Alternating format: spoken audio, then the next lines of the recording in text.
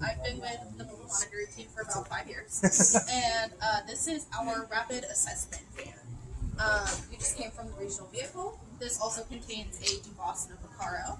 Um, so we have the, those same capabilities, but we also have a nephelometer, which is up on the shelf there, that measures PM 2.5 and PM 10 estimates. Um, and what also makes us different from the regional vehicle is that we have an onboard uh, generator to power everything.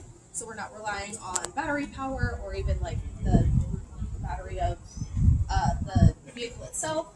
Um, and we have a zero air generator and um, a calibrator and some compressed air gas standards so that we can do all of our calibrations and QC in the field. Uh, and we don't have to be hooked up to shore power to be able to do it. Um, so we can be, you know, across the state and be able to ensure that we are um, actually seeing the correct values that we think we've been seeing, um, so that we can have all of our data be QC properly and all of that.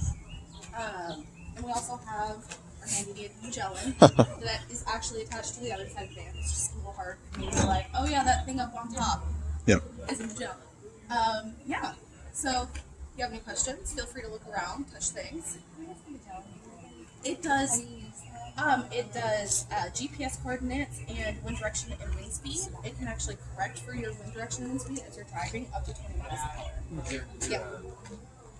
Right away. So like, if you're taking this Monitor and then handle emergency, are you what- like calibrating and stuff on Your the opinion? drive so that when Is you there- get there, I- you know, I no, don't how does it We can't do anything um, like that while we're driving because there's no seatbelts back here.